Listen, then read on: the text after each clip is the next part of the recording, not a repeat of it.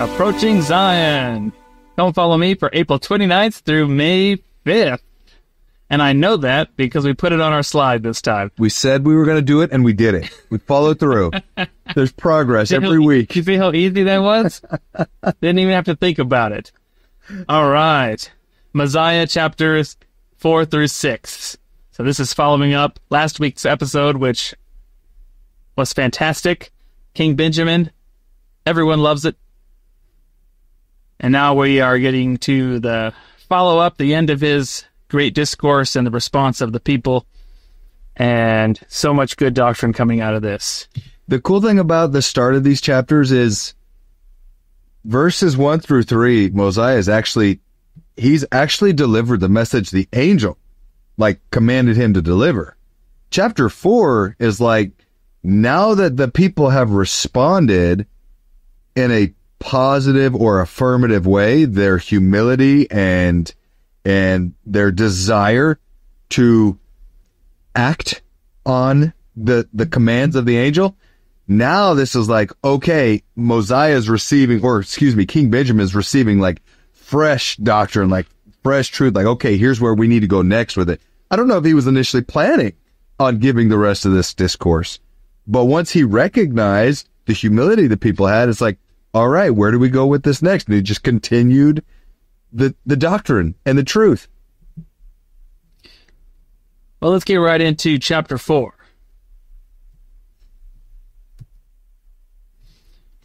So, we were looking at chapter 4 starts by, of course, the response of the people, and he talks about some key concepts here about the people receiving a remission of their sin, and then later he talks about the people being able to retain the remission of their sins, which seems very important. Yeah.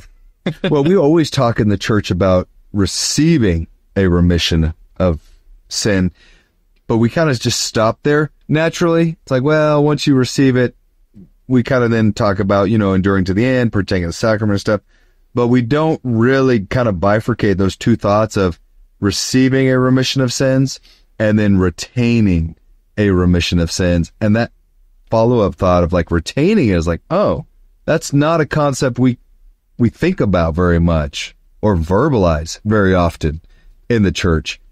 So there's definitely something here that we can utilize in regards to thinking about what we're doing once we have entered the way. Like, okay, now what we're doing is helping us retain that remission of sins that we received. Right.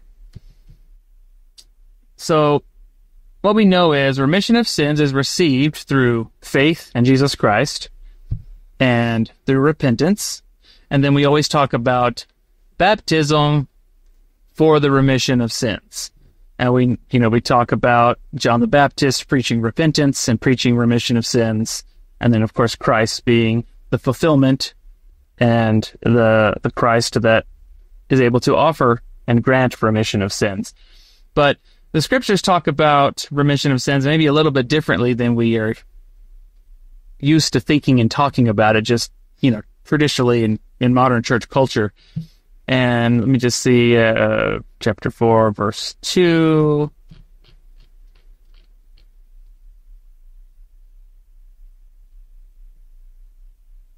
So the people here all cried aloud in one voice, saying, Oh, have mercy and apply the atoning blood of Christ, that we may receive forgiveness of our sins, and our hearts may be purified. For we believe in Jesus Christ, the Son of God. And chapter in verse 3 and it came to pass that after they had spoken these words the spirit of the lord came upon them and they were filled with joy, having received a remission of their sins. And what's interesting there is that uh, in no part of those two verses were they baptized. Mm. And we say, well, baptism's for the remission of sins. Probably if you ask, you know, majority of church members, when do you receive remission of your sins? They'll say, when you're baptized. Mm-hmm. But we see very clearly here that the people of King Benjamin they were moved and the Spirit came upon them. And through their faiths, they received a remission of sins. And that maybe seems a little weird, a little contradictory, but over in Doctrine and Covenants, verse uh, section twenty, verse thirty-seven, which I need to pull up, but over over there it talks about the requirements for baptism in the modern church. Verse thirty-seven.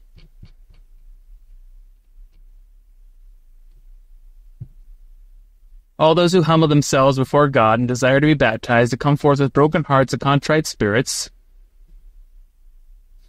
and witness before the church they have truly repented of their sins and are willing to take upon them the name of Jesus Christ, having a determination to serve him to the end, and truly manifest by their works that they have received the Spirit of Christ unto the remission of their sins, shall be received by baptism into his church. So again, in modern times, we see that remission of sins comes from receiving the Spirit of Christ through faith and repentance, right? Mm-hmm. Truly manifesting their works of, right, the, the, truly acquiring faith in Christ unto repentance. Yeah. So this is, that right there is how we obtain or receive remission of sin. It's truly through faith in Christ and that faith producing works of repentance in our heart. This is where I I feel like and I could be I could be wrong. So tell me if you think otherwise, but I think this is where other Christian churches get to. They get to this point and maybe without being able to conceptualize it mm-hmm. this way, but they get to the point where their faith, their love for, their desire in, or, or for a relationship with Jesus Christ is there. That's all real. Like it's legit. And they receive because this is maybe agnostic, so to speak, in regards to we're not talking about having to do this through proper authority or through proper priesthood or anything like that that's unique to the restored gospel of mm-hmm. Christ. It's simply saying faith and repentance leading to Jesus Christ. Like you don't have to have the restored gospel for this, for this remission of sins. Yep. Or to receive that remission Or of even sins. for the Spirit of Christ to come upon you. Yes, and this is so important so that when we're talking to other other believers in Christ, other Christian denominations or evangelicals, whoever, we have to understand why do we need to why do we need to understand what the scriptures are teaching us here? Because this is where evangelicals, this is where other Christians get to. They get to that point where they can receive a remission of sins. What they don't understand and, and what, what they can't really conceptualize very well is there is a process for retaining that remission of sins. So they get to the point of, I've received a remission of sins. And then what do they say? Well, I'm saved now. I'm saved. I've accepted Christ. I'm saved. And what we need to do is say, yes, you have received a remission of sins. However, there is an ordained process to retain that remission of sins.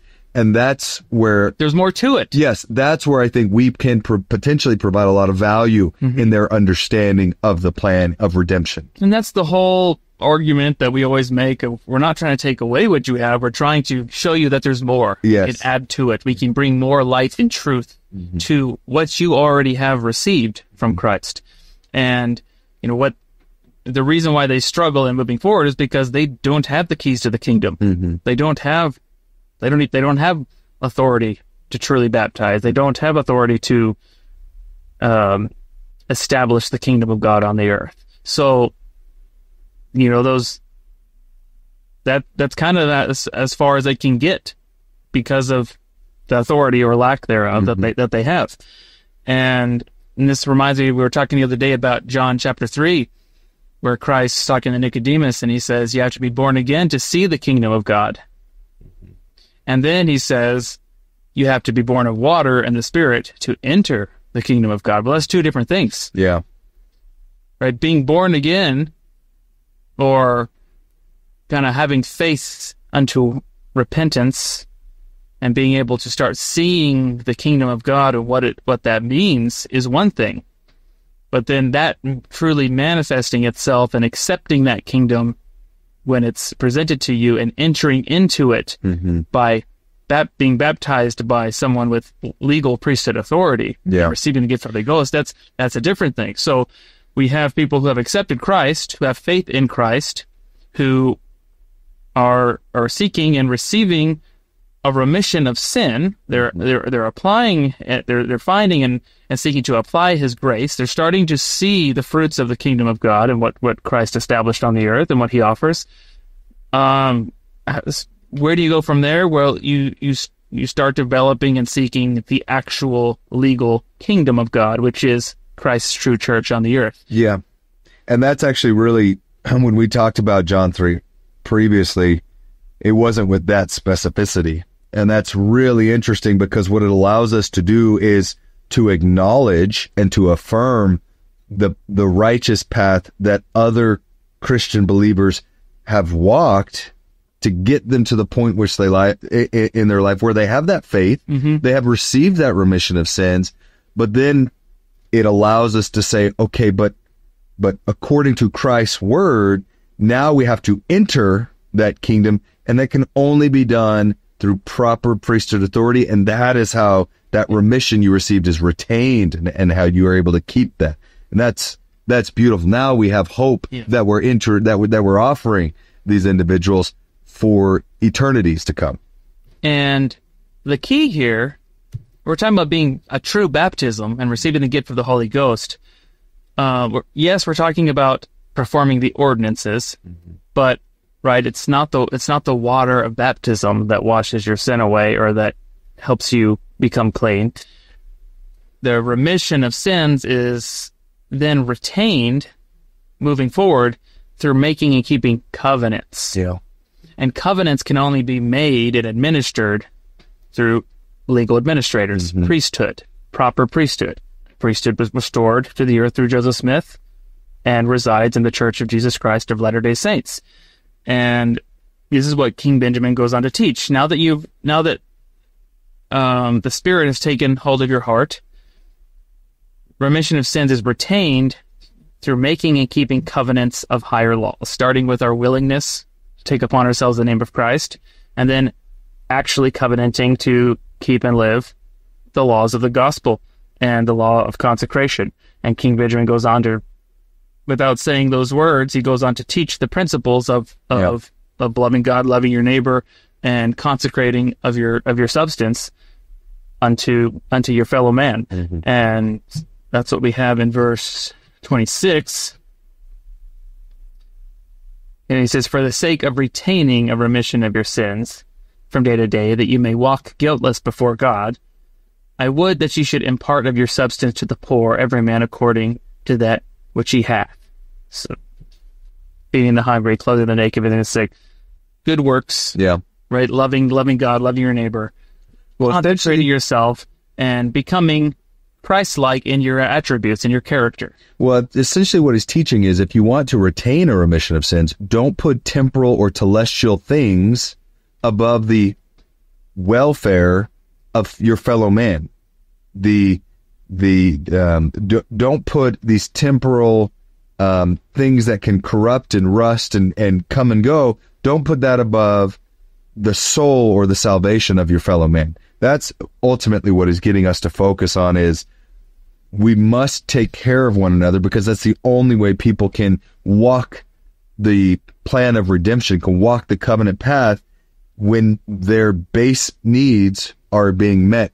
Elder Holland gave a talk a few years ago in conference about we've got to do more to ensure the poor and the needy, the the widow or widower, those that that need an extra hand that they're taken care of because when you're in that state of temporal um, uh, temporal need, it's very difficult to walk the disciples' path at that point. And so it's it's the same thing that King Benjamin's teaching here is we've got to do our part to help alleviate those so that they can focus on more spiritual substance and not just the temporal substance they may be in need of.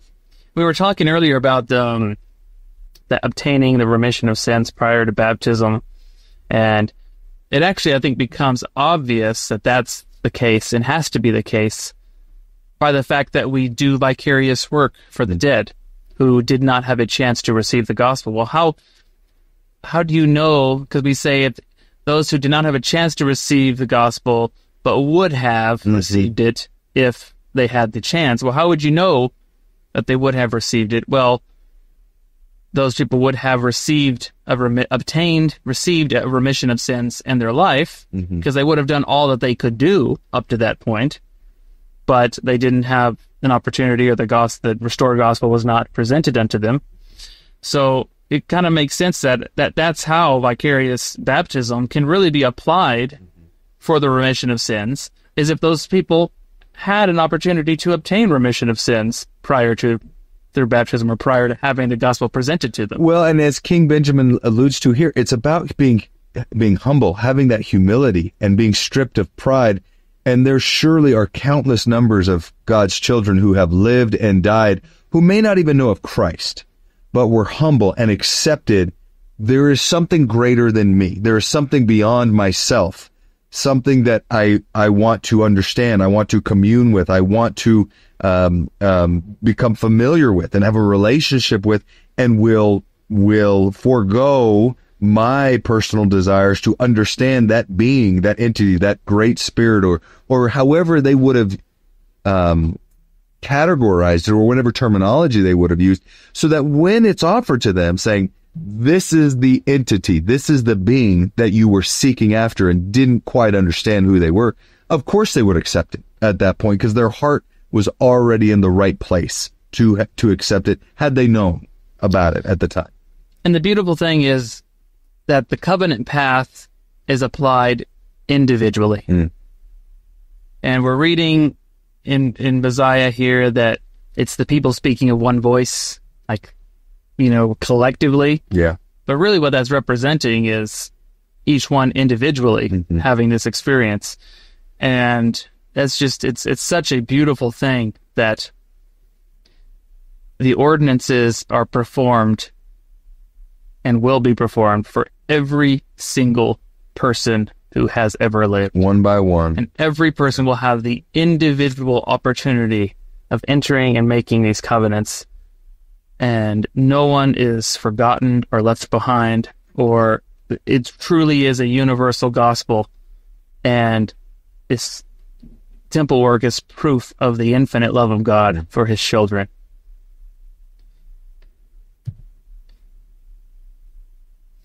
Go on to talk a little more about law of the gospel and law of consecration because these these chapters are really a master class in charity and consecration and probably something we should be reading over and over and over again right as to try to beat the babylon out of us. For real though. Yeah. grip ourselves of pride. Uh, so I, I just grabbed a few quotes here. Your substance doth not belong to you but to god to whom also your life belongeth I mean, that's that's the principle of consecration, is that we're stewards. Yeah. Every, when you when you can humble yourself to the point of recognizing that nothing is yours, even what you have is not yours, because your life's not even yours, right? That's when when you truly grasp that and understand that. That's when I think your heart starts to soften and consecration starts becoming more natural, uh, because you you stop hoarding Mm-hmm. and, and and you start giving. Right. This is what Christ was trying to teach the young rich man. Stop. ho- Why you you have all that wealth that you're just hoarding and doing nothing with, other than make you know, so you making you feel good that you're rich. Well, liquidate that. Start start being charitable with with the talents you've been given. Mm-hmm. And woe be unto the man who denies the beggar, for his substance shall perish with him. Now I say these things unto those who are rich as pertaining to the things of this world. And I mean, let's be real, that's all of us. Yeah. Okay. I mean, at least Western English speaking audience, in terms of the history of the world, we are the 1%. Yeah. All of us. Correct. it doesn't matter how much you do or don't make. We are, we are, by all historical standards, we are all rich today. And like, we shouldn't, we shouldn't exclude ourselves from these teachings or the, or, or, or this, uh, this grouping of the rich just because you know, oh, I make less than my neighbor. Well, we're all we're all rich in in blessings, and we need to take this to heart. And then this is the verse we already read, verse twenty six. But he says this like he's saying these things. He's teaching consecration and charity. Why? For the sake of retaining remission of your sins.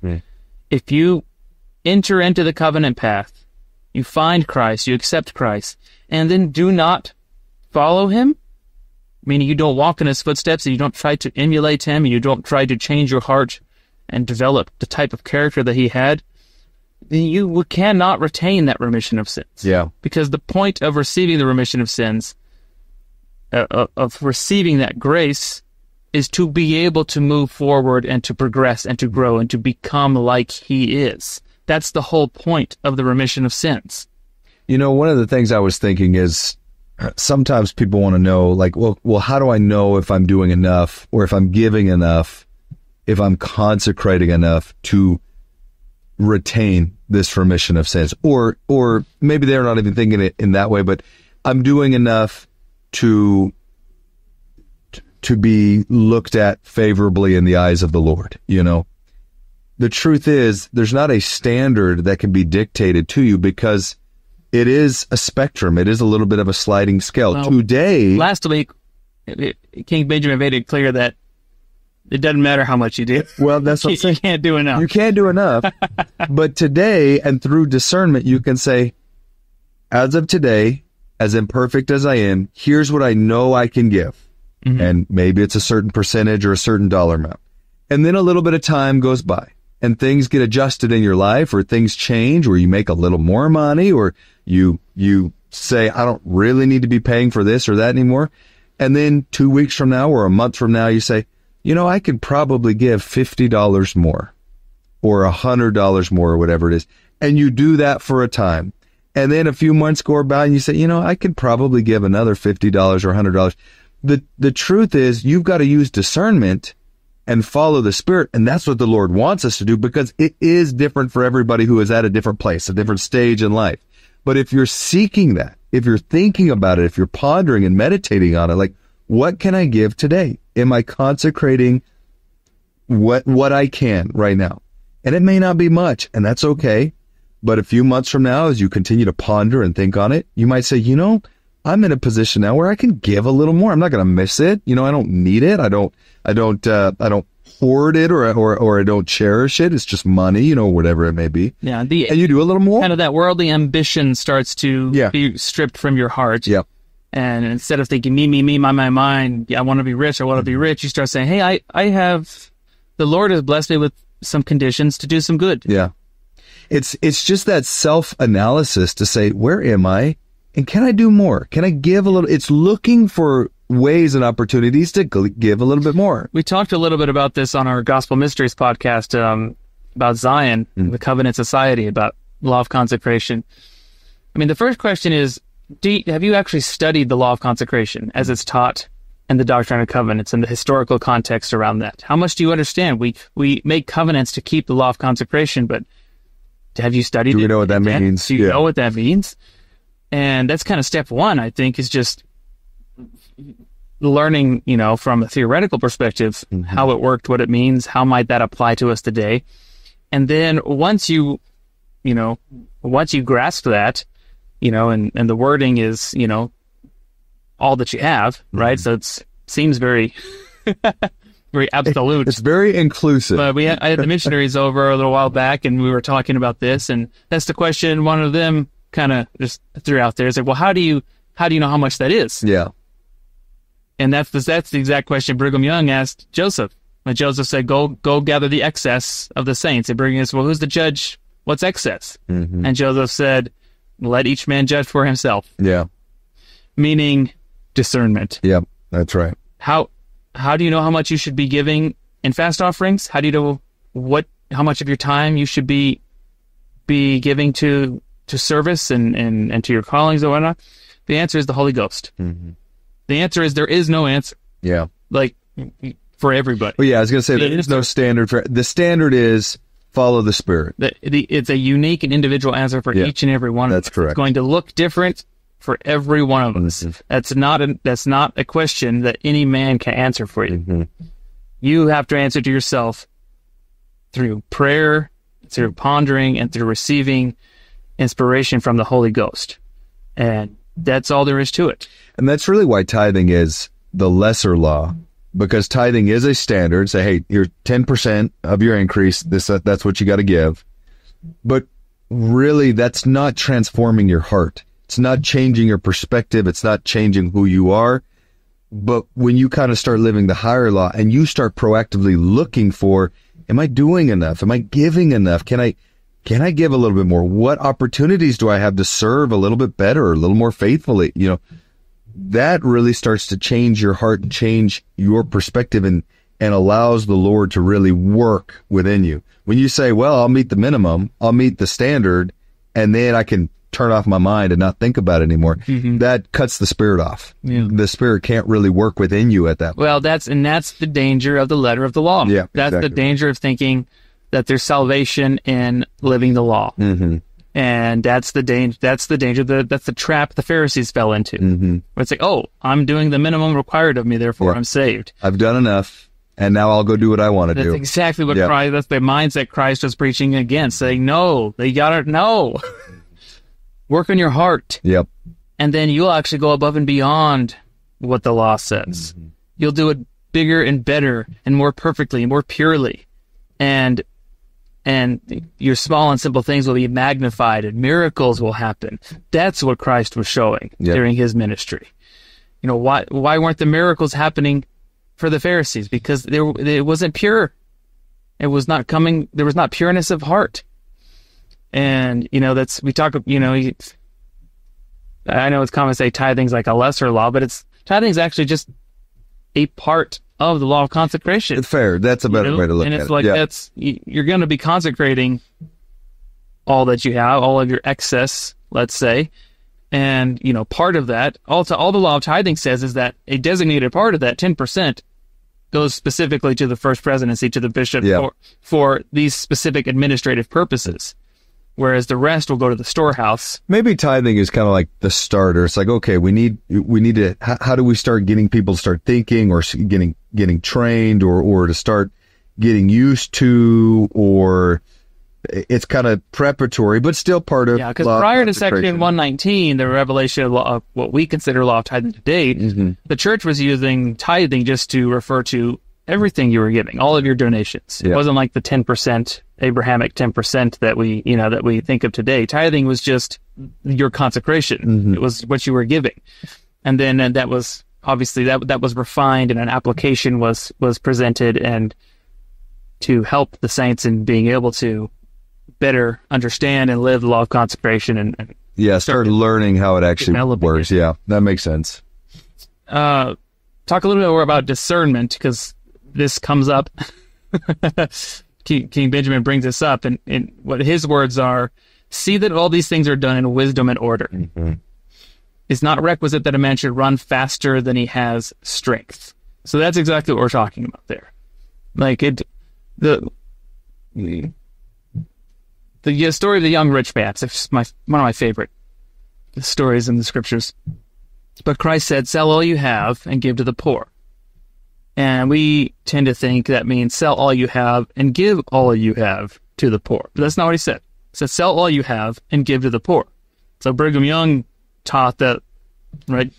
Careful reading of that shows that like Christ wasn't saying, Hey, sell all you have and then you also be a beggar. Yeah. That's not what he was teaching become destitute. he was saying liquidate all those all those assets that you have, all that you have stored and you're hoarding, liquidate it and start doing good with it. Yeah.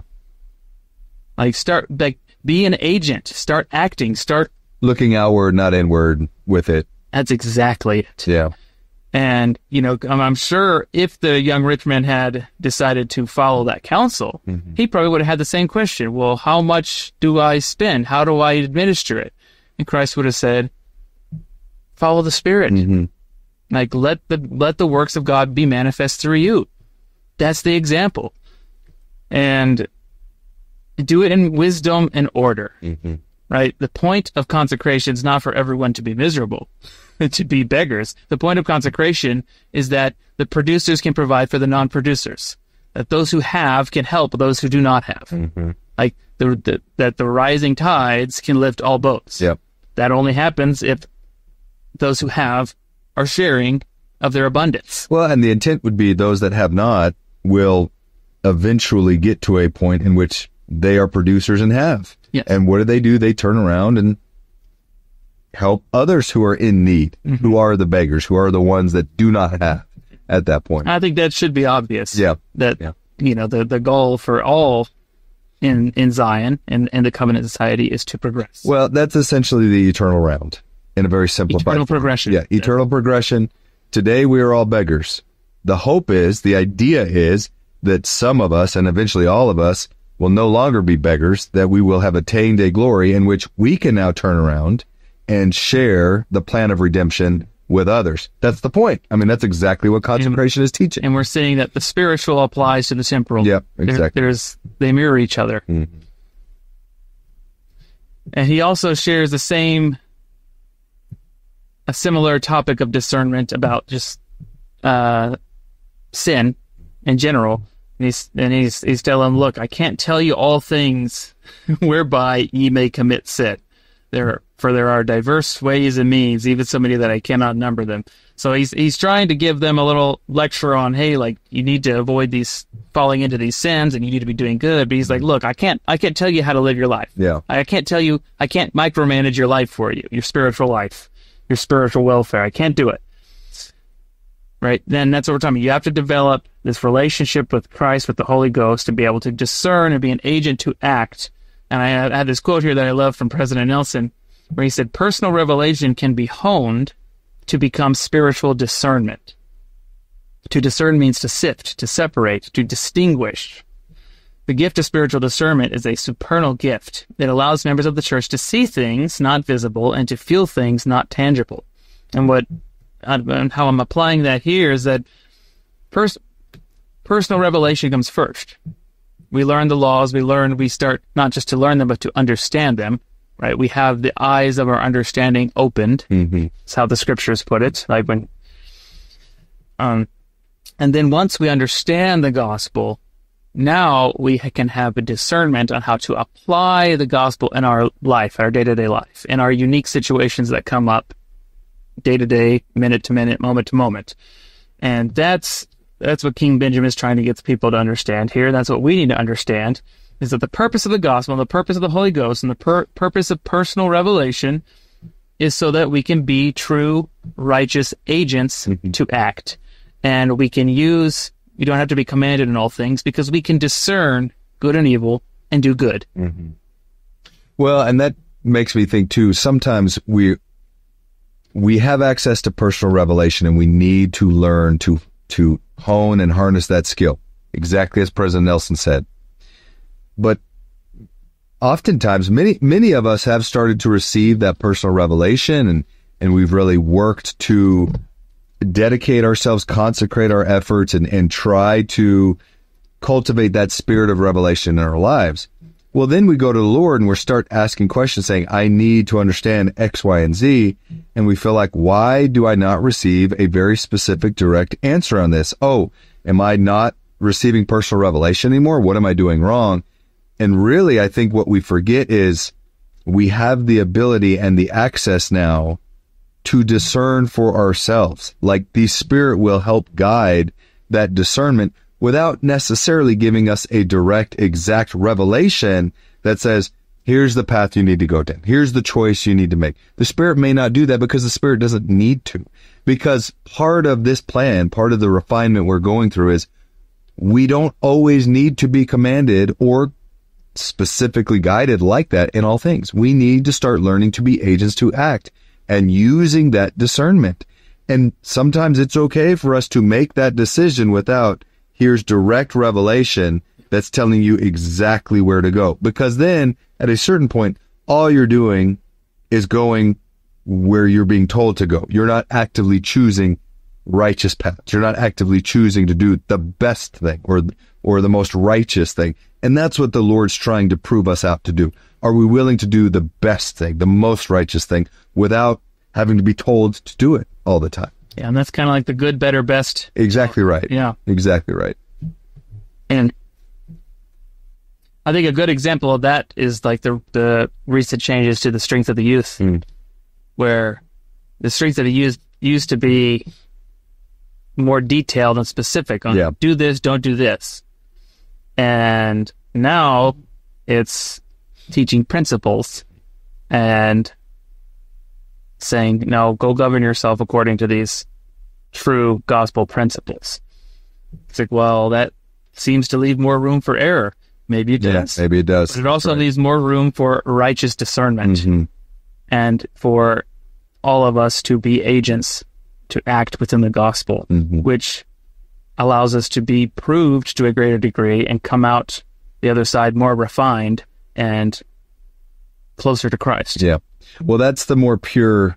I mean, that's the true worshiping in spirit idea is that I don't have to be told or commanded in all things because I have that relationship now with the Lord. Living waters. Yes, I seek righteousness. I want righteousness. I desire it so that even if I don't receive exact direct revelation, where I am at this point, I can start to make choices. And it may not be perfect, but it's the best I can do. And that's what the Lord's looking for. Like he's wanting you to just do the best you can do and he'll magnify it. That's the thing we forget. It's like, I don't have to be told exactly what to do from the Lord. He wants to sit and watch and say, will you do the best you can do? Because whatever it is, I can perfect it. I can magnify it. I can make it Yeah. right. I can make it enough. You bring the loaves and the fishes. That's right. And I will feed the I will make it enough. Yes. And that's the thing that we forget. It's like, no, I want to do it just right, Lord. Tell me exactly what I need to do. And he's sitting there saying, no, just do what you How can I feed the 5,000? Yeah. You can't. You, exactly. But you can bring what you've got. Yeah. And I can't. yeah. That's the message of And that's what he's waiting. Do what you can do and then watch me work. Let, but so many times we're so afraid. We just sit there like, okay, I'm going to wait on the Lord. And just when he tells me exactly what to do, I'll do it. It's like, no, no, no. He wants you to act and then he will magnify so that then you see his strength. You see the miracles. You see how great he really is. Mm-hmm. You did the best you could. And guess what? He took it and made it miraculous. I think there's some there's some beauty in the simplicity of who was it that brought the loaves and the fishes? What was a boy? Yeah. It was a child. Because an adult probably would have been like, eh, this ain't enough. It's not enough. or yeah. or say, "Ah, I'll just I should I won't even bring it up. I'll just kind of eat this. with them." yeah, this is foolishness. I'm not going to do this. the humility and the and the pure charity of a child. He, he brought forth uh, his pathetic offering. Mhm. I mean, it was Not much. just pathetic. Like, oh, I've got these few loaves and fishes. Like, will, will this help? And of course, the apostles were like, uh. Go, somebody make this kid go sit down. and then Jesus was like, I can work with it. yeah, that's right. That's the we give, we have to develop. That's the that's the whole thing of becoming like children and and putting our faith in in Christ, like childlike, pure faith, hmm and believing and trusting in God. Yeah. And it's a simple slide. I just kind of took some quotes out of the manual here, but it said our trust in God increases as we have experiences with Him. And that makes sense. Yeah. Right? That that falls in line with Alma's teaching of faith and and how faith becomes hope and you know, belief becomes hope and hope becomes knowledge and knowledge becomes living faith. Yeah. And so the question is, how do we have experiences with God? Maybe there's lots of answers to that question. Yeah. Hearing the word, acting on the word, applying the word. Um, but King Benjamin would say, serving others. Yeah. You're in the service of God, having experiences with God, being in the service of God when you're serving your fellow man. And that's how we have experiences with God. What did Christ teach? When you've done good to the least of these, you've done it unto me. How do we have experiences with Christ? Well, we go and we consecrate what we have. We love others and we bless others. We do what he would do if he was in our shoes. And from a gospel perspective, I mean, what's our goal? What are we trying to get out of the gospel? Return to the presence of God, enter into the presence of Christ. build a personal relationship, not just in spirit, but in person, Mm-hmm. right? We're talking second comforter. So how can we enter into the presence of Christ? What do we need to do? Well, we need to be serving others. We need to be developing charity. And through a lifetime serving others and having sacred experiences with other people, we come to know Christ. Yeah. That's the gospel. That's that's the true fullness of the gospel that Christ has made available to each and every one of us. The covenant path, right, the legal administration, it all serves a purpose and it is important and it's it's a teaching tool. It helps us get there. But it has to it has to it has to be born in our hearts. We, mm-hmm. we have to have the born again experience and actually start living it. And it's line upon line. We don't run faster than we have strength. It could, it's a slow progress. And sometimes we get frustrated with, with how slow it is, but it's perfect and it's pure and it's true. One of the interesting things, or something I've been thinking about lately, is just this of consecration. And we tend to, from a a person from a human perspective, it's like, oh, we've we got to give more to the Lord. We got to give more to the Lord. We're only looking at things one direction. And what we tend to forget, and what I've been thinking and pondering on more lately is, well, why does the Lord ask us to do that? Because everything He does is perfectly living the law of consecration, meaning He's not taking what we give Him and keeping it. Everything first, as King Benjamin mentions, everything's already His. But when we give to Him, He immediately turns around and uses that outward looking, outward facing. He is living the law of consecration perfectly in himself. And when we talk about like inheriting, like we want to inherit eternal life, sometimes I think like that's already being offered to us. It's already being made available to us and that it's our, it, it's, it's ours to lose. Like if we're serving, if we're giving, if we're having that Christ-like charity and love, if we're truly living the law of consecration, we're already inheriting eternal life because that is eternal life.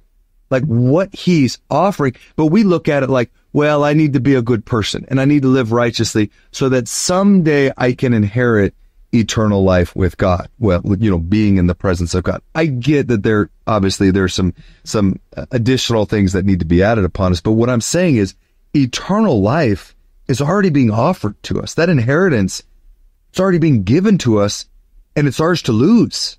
Like when you, when you consecrate, when you love the way Christ loves, and we can't do that perfectly now, but we do the best we can do, you are living the eternal life God's promising. You're, you're receiving that inheritance today. Yeah. And as you become more perfect in that, your inheritance grows, you know? So I just, sometimes I think we put off for tomorrow what can be received now and received today. It's about changing our perspective and how we act. What you're talking about is grace. Well, 100%. Yes. Receiving a fullness of that grace. And right, the trap is to think that, well, I gotta, I gotta, I gotta do the works, Mhm. and then the grace comes After. after. Yeah. That's right. and that's that's a false notion. That's right. right. The grace, the grace is here and now, and it's free. Well, the kingdom of God is at hand, is it not? And I'm like, I don't know that we fully understand or comprehend what Christ was teaching. Like, it's all here. It's ready to be had. We just misinterpret what we think the kingdom of God is or is going to be because we're always future looking, you know? It's like, no, it's here now. We just got to learn what is the kingdom of God? How do we live in it? Mm-hmm. and and King Benjamin's teaching that you consecrate, you give, because the the what you get in return, that humility and that love and that peace, that's that's the inheritance we seek. That's the kingdom of God we should be after. So he talks about watching yourself mm-hmm. in your thoughts, your words, and your deeds, observing the commandments, continuing in faith. And because if you don't, you perish or you don't retain the remission of sins. This is kind of, he's wrapping up his kind of coming full circle to, to his thought here. Um, and then he said, this is exactly what we're talking about. It's um, this this is where it's easy to interpret this as okay, well, it's works. Mm-hmm. Like, how do you retain a remission of your sin? Well, it's it's through works. Well, remission of sins is obtained and retained only through grace. Correct. It is only through grace that we are saved, even after all we can do. Mm-hmm. However, the grace of Jesus Christ is an enabling power. Okay. The grace of Jesus Christ is what allows us to move forward, walking blameless before God, even though we have all sinned and fallen short. It's, it's the enabling power that gives us hope and faith to go and do Mm-hmm. with the belief that all things will work out and be okay. That we that helmet that that, that we really have received that remission of sin. That is good. Mhm. That is valid. Now when we get there and on that great dreadful day of judgment, that Christ is our advocate Yeah. and everything's going to work out in our favor. And I mean that's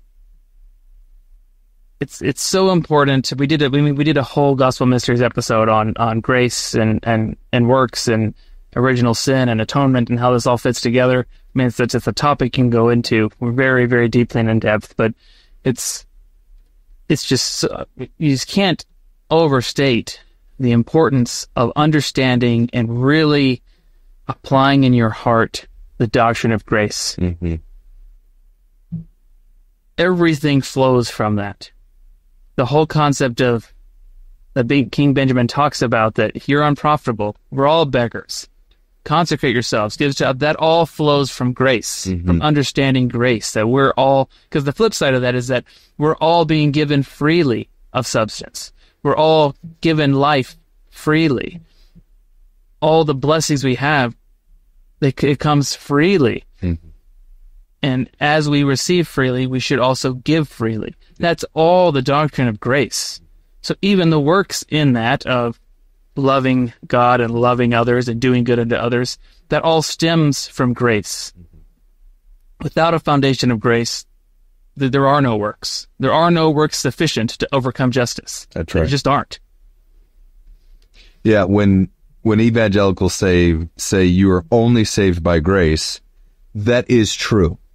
The difference, according to our belief, when you really understand it, is grace has a greater enabling and magnifying power to where, yes, you are saved by grace. But what is the Lord seeking from us? See that that perspective. What does the Lord want us to become? Well, He wants us to be refined. He wants us to be more like Him. So we're saved by grace. He wants us to become as he is. Yes, exactly. And so we are saved by grace. That's it. End right there. That's correct. But as we attempt, as we give our best efforts to try, we do the best we try. Grace is a tool. It enables those efforts to help refine us, to help make us better. So today we might only do, you know, three or four or five percent of whatever it is we're capable of doing. But through the grace of Christ, He enables us to where we learn, we grow, we refine from that. And next time we try, we can get seven or eight percent or nine percent. It is that enabling tool, that enabling factor that allows us to be refined, to become more than we are today. And that's again similar to what we were talking about at the beginning. The difference between our understanding of grace and other Christian understanding of grace is it is grace you're saved, period, at the end of the day. But when you properly apply grace, you can become refined to a greater extent as time goes by. It's that enduring to the end process of consistently allowing yourself to be refined and to become better and more than you were a day ago or a year ago or 10 years ago.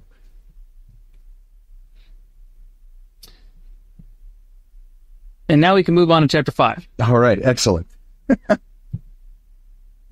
The Spirit of the Lord can cause a mighty change in heart. So all this is good in theory, right? Consecration, charity, but it's not something that we're supposed to be forcing ourselves to do. It's something that should be naturally flowing from a changed heart, from being born again in Christ. And this is the experience that the people had as a result of King Benjamin's uh, teaching here. This is where they cried in unison, saying, We know of the truthfulness and surety of these things because of the Spirit the Lord Omnipotent, which has wrought a mighty change in us, or in our hearts, that we have no more disposition to do evil. They have discernment. Mm-hmm. Right? This is this is the equivalent of now understanding the difference of, of good and evil and choosing good. And they want to do good continually. And we ourselves also, through the infinite goodness of God and the manifestations of the Spirit, have great views of that which is to come. Their, the eyes of their understanding are being opened. This is revelation. They're becoming uh, endowed by the Spirit here, essentially.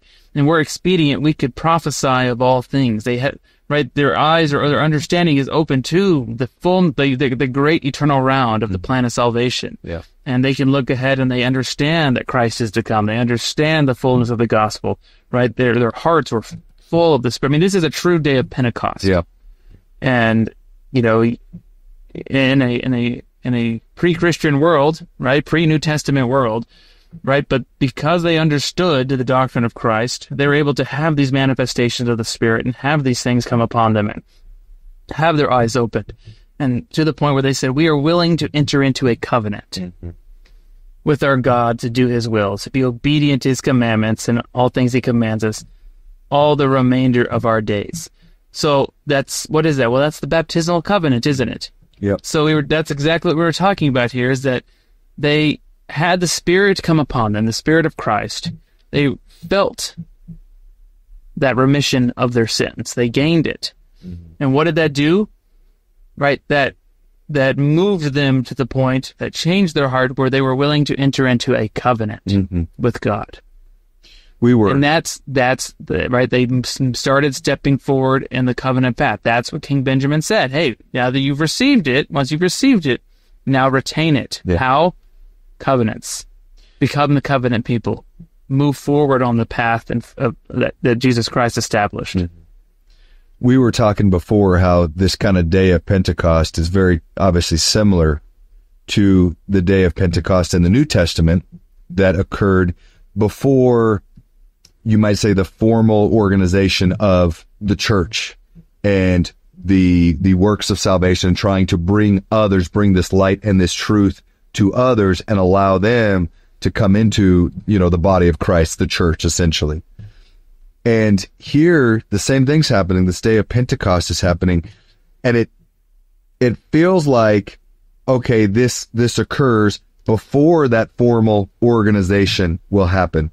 But I almost think it's kind of the inverse, like we talk about a lot, where we assume, oh, there's a day pre predestined or or or or already um, established when Christ is going to return.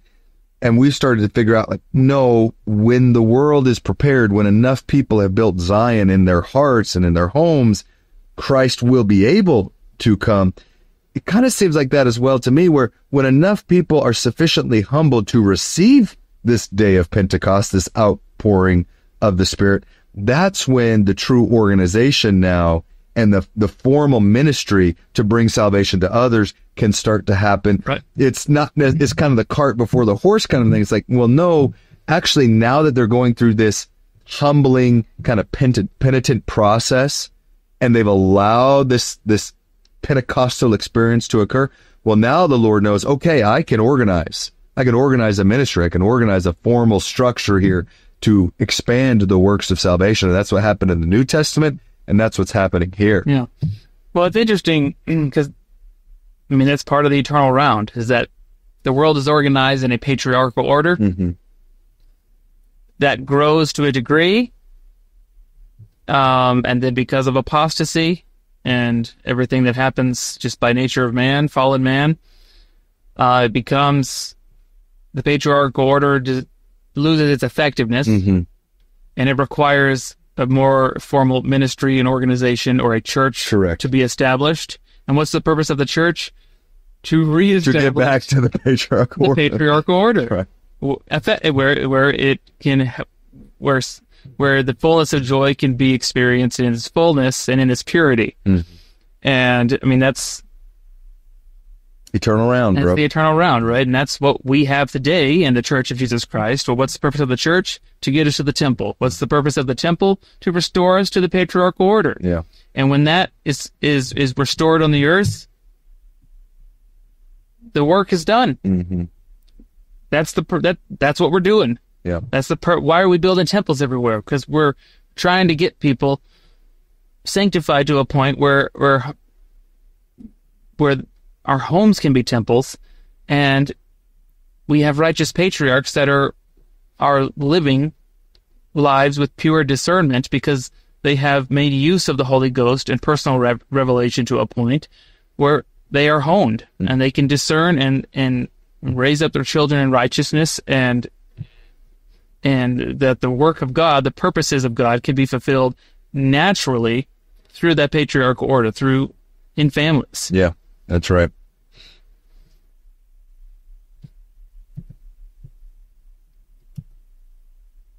And now, because of the covenant which ye have made, ye shall be called the children of Christ, his sons and daughters. For behold, this day he hath spiritually begotten you.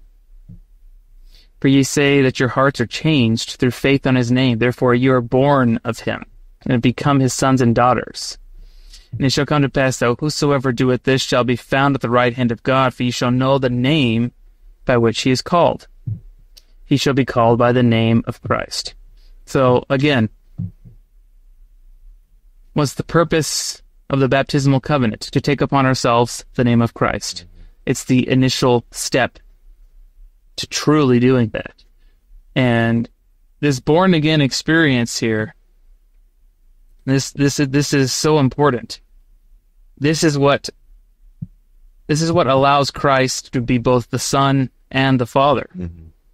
He's both. He declares that over and over again in the scriptures. Yeah. And that, that seems co- contradictory or confusing, but he is both. And his role of the son is obvious, Mhm. is always obvious, but how is he, but his role of the father can be a little, little, little murky at times. But it, it's taught right here. Right? It's taught right here.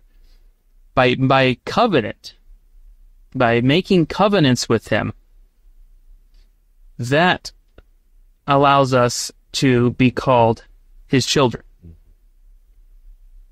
That is how we are spiritually begotten sons and daughters of Christ.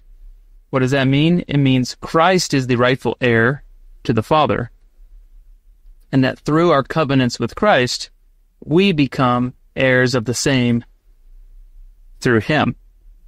So, in that sense, he is now our access to the Father's inheritance comes through our adopted Father, mm-hmm. our spiritual Father, who is now Christ, legally by legal covenants, Yeah. by legal contracts that have been recorded on earth and in heaven, saying as much. And you really can, st- when you start pondering this and putting this together, understanding this, you really start to see the magnitude, the magnificence, and the glory that Jesus Christ has and what he offers to us. He is the access to the fullness of the Father, and he offers it freely to us despite who we are, what we've done. we spend a lot of effort. I think, I think we've allowed ourselves generally, I shouldn't paint everyone with this brush, but generally as a church, we have allowed the conversation around the Godhead, the Trinity, what does that really mean to, to, to create these very rigid lines and to kind of paint ourselves into a corner that need not be so. But because we want to correct and to address the Trinity as it has kind of been canonized in the rest of Christendom, n- not ubiquitously, but most of Christendom has this idea of the Trinity of uh, of being all one person, the Father, Son, the Holy Ghost, and we try to fight that so hard to say no, the Father is an entity, the Son is an entity, the Holy Ghost is an entity, all be and, and they're three separate personages. We try to fight that so Well, we've hard. taken the doctrine of multiple tabernacles Mm-hmm. that the father and the that there is a father and there is a son and they have bodies. Mm-hmm. Like we we ran with that so hard yes. that it, it it it's confused us. Well, we've pigeonholed Yeah. Christ as to just being the son. Like, I don't want to say that's it, but it's like that's that's his place. He must stay right there. He is just the son, and there is a father. Corporally, physically, that is true. He is the son of a heavenly father. From a spiritual perspective, though, we are seeking to be sealed to him. He will become our spiritual father. And and if we don't have that, if we don't seek that, if that's not what we want and we can't visualize that, mm-hmm. there's a problem. It's we've got a we're falling very short Yeah. of what the eternal goal will be and what's available to us. We need to look at him as well as not just the son of God, not just our savior and our older brother, as you mentioned previously, but he is seeking to be sealed to us as our spiritual father to lead and guide us into the next phase of the eternal round. And we've got to start having reverence for him in that manner and stop trying to just keep him in this box of the son. Of course, that's who he is, but he is also so much more for us, for, for us moving forward. And we've got to start looking forward to that day. And what's the purpose of the Book of Mormon? Self-declared in the title page to teach and show that Jesus Christ is the eternal God. That's correct. and amen to to everything you just said that if our relationship with Christ stops at understanding that he's the only begotten of the Father hmm. and our elder brother who offers salvation that's falling way Short. way short of where of where we need to be in our in our relationship with him Yeah. we need to understand that through him, through our covenants with him, our relationship is much greater than Yeah. that. And and and he becomes spiritually we spiritually our father. Mm-hmm. We are spiritually begotten through him. All of the blessings of the Father are available to us in and only through him and therefore we are spiritually begotten to him in all legal aspects and all he is our father Yep. there is none of the blessings of the father are available to us mm. without him Yep. if not through him we when we talk about the Book of Mormon containing the a fullness of the gospel, there's a lot of ways in which we've we've kind of discovered and talked about and kind of theorized like, well, what does that really mean? This may be the most important thing. This may be the key of what is it teaching because what the Book of Mormon is teaching us is it's not just correcting the incorrect traditional Trinitarian view of the Godhead, but it's also correcting us and some of the views we've kind of set up and and and been really rigid on. It's showing us like no Christ is greater than that. It's providing clarity. philosophies of men seep in within our own culture Hundred percent. Uh, and the Book of Mormon makes it very clear who Christ is and how important he is and how close we should be to him moving forward in our eternal progression. In the book of life and in the book of the eternities, we will always write down who is your eternal father. It will be Jesus Christ moving forward. If we live our life correctly, if we live our life the way we should be living our life, he will be the one in our family tree that we point to and say, that is our father. And that is extremely humbling and very profound to really start considering when we look at how our relationship should be with him. Because you think about how your relationship is with your earthly father, and it's just awe inspiring to think we will and have the opportunity to develop that same relationship and closeness with him.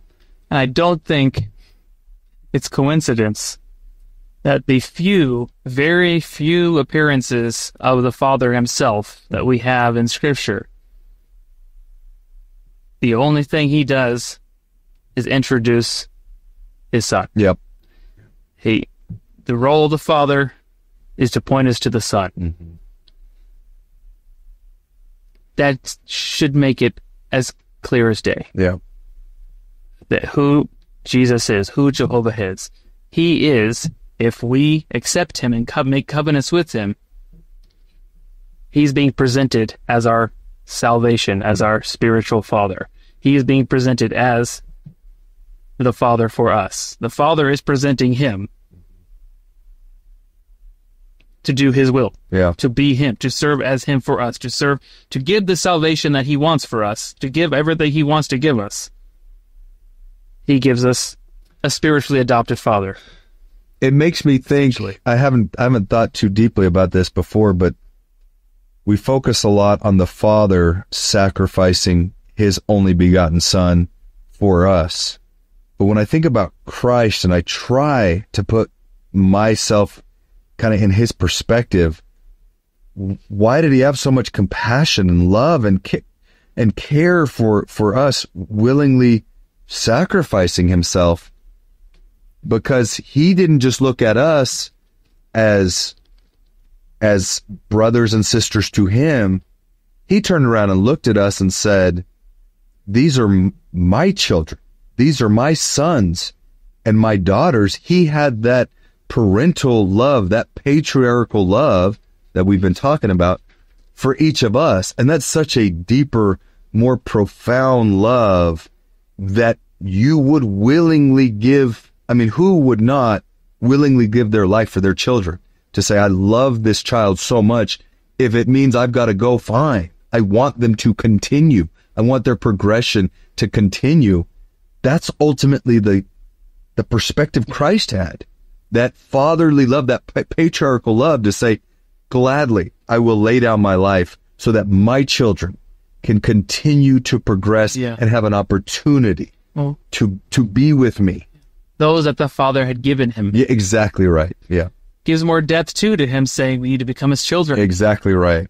Yeah, That's not just i- in who we are, but mm. we need to become as his children. yeah, There, there's more depth to that too when you Yep. when you look at it through this. That's okay. I, I think we need to do a whole episode on the God, yeah. our gospel mysteries episode. We've been talking about it, but it's deepening where we need to go with it for sure. It's becoming more clear. All right, got a couple good quotes here. Elder Christofferson. With covenants, we are intent on more than just avoiding mistakes or being prudent in our decisions. We feel accountable to God for our choices and our lives.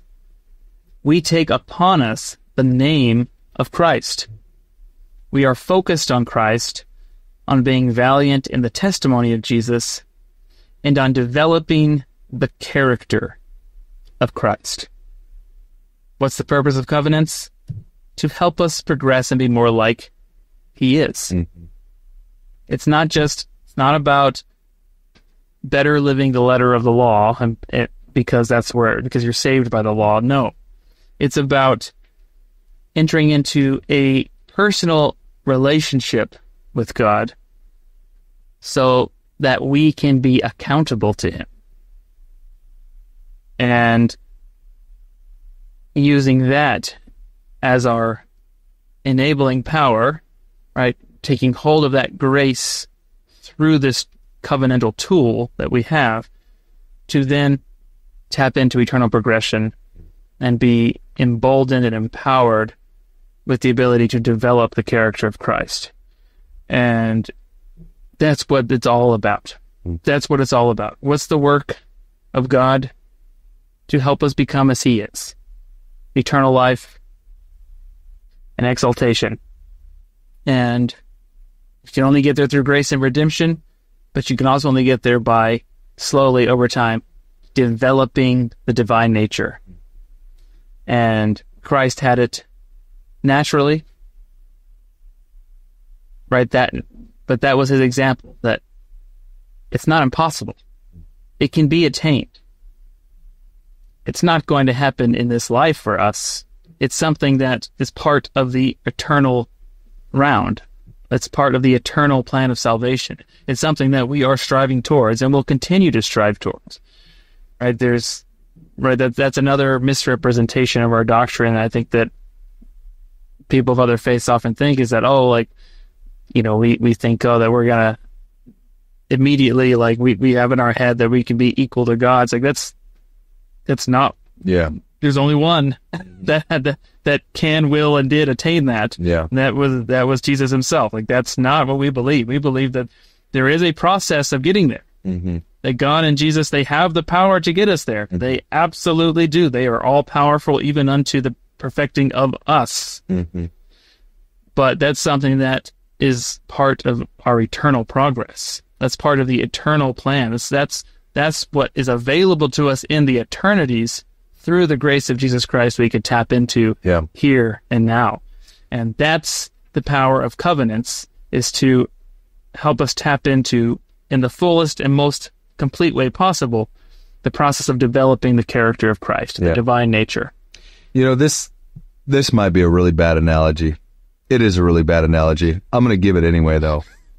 Just to try to illustrate how important covenants are because we have gotten feedback from time to time from folks who don't believe what we believe and they'll say something akin to some of these things don't matter anymore. Covenants don't matter because you're saved by faith and by grace. You know, and it's that relationship that, that that's all that matters. You know, you have faith in Christ and you're saved by grace. I mean, they, they take they they'll use word they'll say something to the effect of, "Well, grace is the new covenant." Yeah, yeah.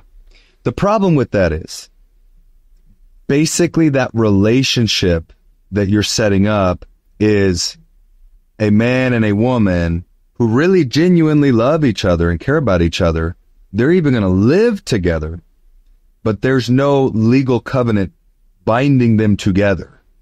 There's no there, there's nothing that's saying these two have have made the commitment and as such qualify for certain opportunities or or certain benefits that those who have not made that covenant have not. Now, I'm not comparing the covenant God make with us to temporal, telestial, worldly covenants, but what I am saying is there is a difference between loving, caring for somebody and being in a relationship with them and it then loving and caring somebody and legally binding yourself to somebody. And that's what these covenants are is not legally binding according to our law, but legally binding ourselves, taking his name, taking Christ's name upon us according to celestial law. Yeah. Something that cannot be broken unless we obviously choose to to back out of it. A a an, an eternal bind that will never be parted. Yeah. That's what we're seeking in the covenantal relationship. And that's what I think a lot of other Christian uh, believers miss out on is they are living and are seeking a relationship with Christ that that is not eternal.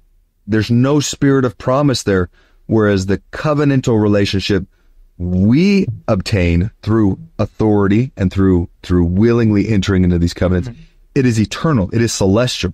And that starts at baptism and it goes all the way through the rest of the covenants we willingly partake of. You know that. I mean, there's there's benefits to coming unto Christ,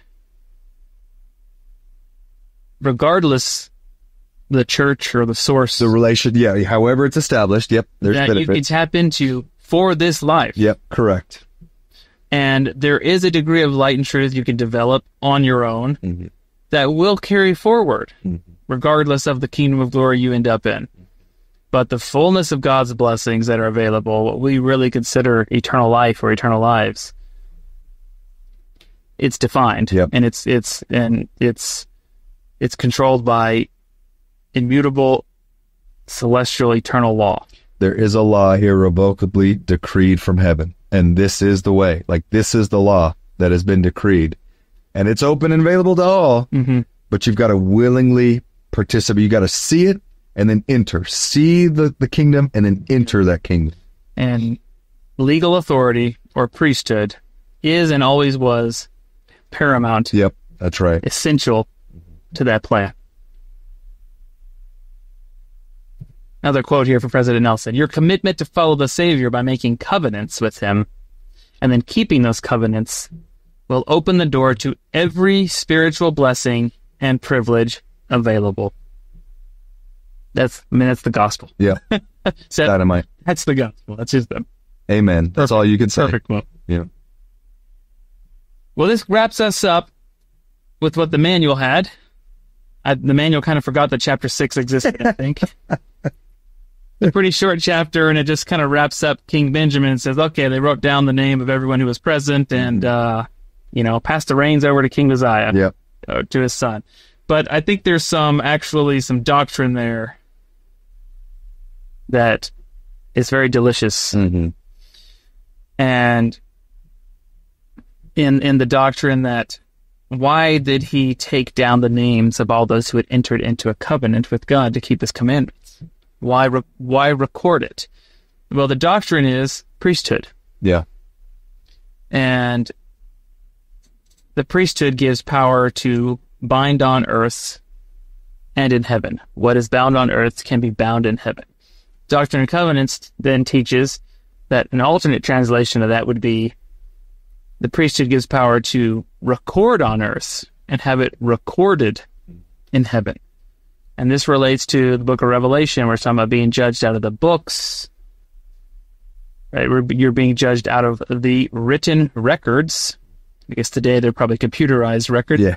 but the records nonetheless that have been documented by legal administrators, by priesthood, by the church as it as it stands today. Out of the books will we be judged. And so why was King Benjamin recording everyone who essentially was baptized? Figuratively, I'm I'm sure they were baptized after this. Yeah. He just didn't specifically call it out. Why was he recorded? Because he he was recording in the book of life that these people had made the covenant and through priesthood being recorded on earth that covenant was then recorded in heaven. And um i mean wh- like why why is this how is this relevant to look, the, the what's coming next in the book of mormon? Because it what's what it seems to me essentially this is the beginning of actually i think i had this on the next slide. This is the beginning of the Nephite church. We had been in this patriarchal order, like we were talking, like starting with Lehi, this patriarchal order, Nephite patriarchal order, and it had branched out, and apostasy had hit, and and and then we have the gospel still being taught, and then this multitude of people being gathered in. So now it's becoming necessary to start organizing the church for the benefit of of all the Nephites and the Lamanites and everyone who was in the Americas. And this King Benjamin recording, making the record of all these uh, people entering into the covenant, is really the first records of of the Nephite church that's going to start being built, and you know we're going to see it grow and become more and more organized with Alma and and moving forward. Um, but the church being organized and being prepared to receive the Messiah, Yeah. right, is happening now, and that's what we see here in verse three, where it's it's saying Mosiah, right, is officially becoming king. But then what? What else did King Benjamin do? Well, then he appointed priests to teach the people, that thereby they might hear and know the commandments, and to stir them up in remembrance of the oath or the covenant which they had made. So this it is uh, in chapter 6 here, we're seeing the beginnings of the Church of Jesus Christ being established in preparation for to receive him when he comes. Yes. And this is very important, like very important teachings about priesthood and the role of the church and how it interacts with the patriarchal order and and everything we had kind of already talked about up to this point. But um, short couple in short chapter, short couple of verses that seem kind of just uh, just you, you might just kind of think there's not a lot of doctrine there, but in reality, there's a lot of doctrine there on priesthood and and that applies to the church to this day. Yeah. That was very alive and active in how the church operates today. Well, it's not it's not coincidental that the church starts to get established here, and then sh- shortly, I sh- should say shortly, but hereafter, you have the the sons of Mosiah who go out and um, start becoming great missionaries and even start converting, you know, others who don't have those patriarchal figures in their life to lead them in righteousness. The missionary efforts can really expand and bring people into the the the fold of of Christ being part of of um, you know him being their shepherd who don't have that lineage and that that um, that ancestry of righteousness. You know, really starts opening the door for the church and for salvation to be offered to any and all that will receive it.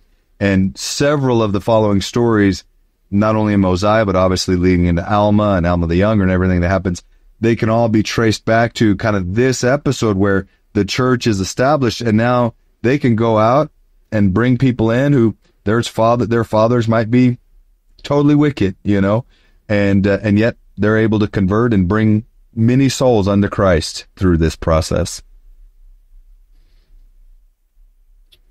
I know these things are true. And I think there's great